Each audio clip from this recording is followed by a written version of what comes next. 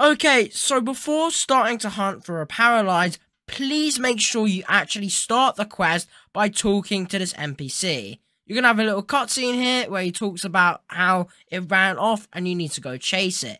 If you don't do it, you cannot find it in the wild and encounter it there for the boss fight.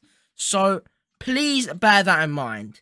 This is just going to be really quick and hopefully this got the point across and good luck hunting for it.